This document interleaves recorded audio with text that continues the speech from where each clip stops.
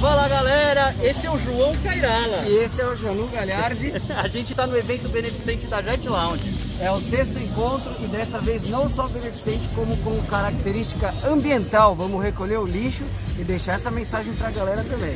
É isso aí, galera. Se você quer saber um pouquinho mais, se inscreva no www.jetlounge.com.br barra encontro e arroba jetloungebr no Instagram. Hoje a gente vai ter um passeio por volta das 10 e meia, 11 horas, na, em torno da ilha, tá?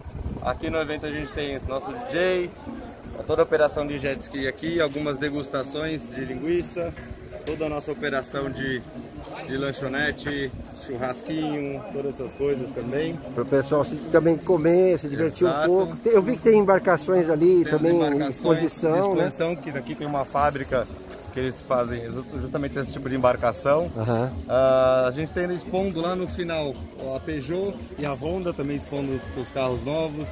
A Honda também expondo algumas motos deles, Aham. vendendo toda essa parte de consórcio, toda a parte de, de produto também deles. Apoiando aí a Apoiando festa. e também dando apoio para a festa, exatamente. E não esqueça, vencedores.com.br. É isso aí, visita o nosso blog lá também. Valeu, galera. Parabéns pelo evento. Hein?